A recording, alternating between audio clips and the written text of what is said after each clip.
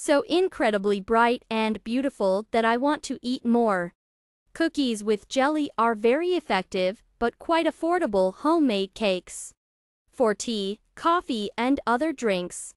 Soft almond dough goes well with sweet and sour berry jelly.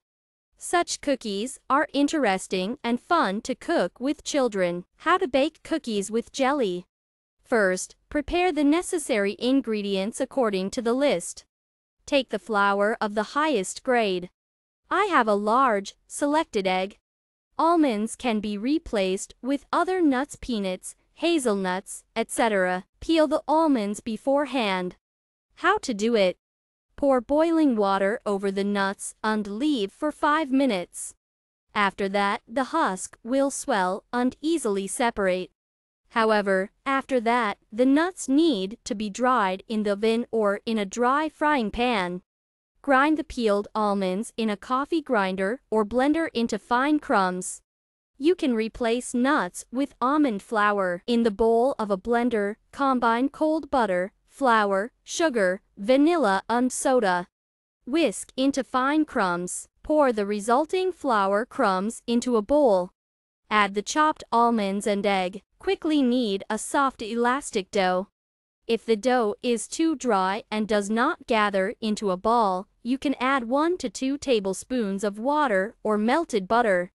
If the dough is runny, then add a little flour. Read about flour and its properties in a separate article at the link at the end of the recipe. The dough should be pliable, but not disintegrate when rolled out. Put the dough in a bag and send it to the refrigerator for 30 minutes. Now prepare everything for jelly. I made jelly based on cherry juice. I checked the frozen cherries with 2 tablespoons of water in advance and carefully squeezed the berries.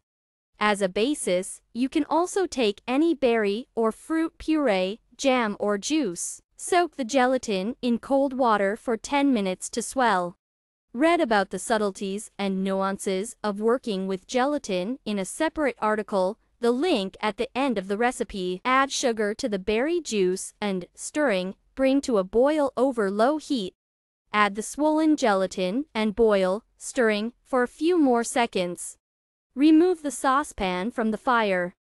Cool the jelly slightly. Roll out the cooled dough into a layer 5 millimeters thick. Use a mold to cut out an even number of blanks. Collect the remains of the dough between the blanks into a ball, roll out and cut out the blanks again. Cut out the center of half of the blanks with a smaller mold. Put the resulting boats on top of the whole blanks and press lightly, trying not to break the shape of the cookies. Transfer the blanks to a baking sheet lined with parchment. Bake in a preheated 180 degrees C oven for about 20 to 25 minutes until golden brown. The exact time and temperature depend on your oven. You can learn about the features of the ovens by reading a separate article, the link at the end of the recipe. Cool the finished cookies. Pour berry jelly into the recesses of the cookies. Put the cookies in the refrigerator for 30 minutes or longer until the jelly solidifies. Serve the finished cookies with jelly to the table, garnished with berries and mint. Enjoy your meal.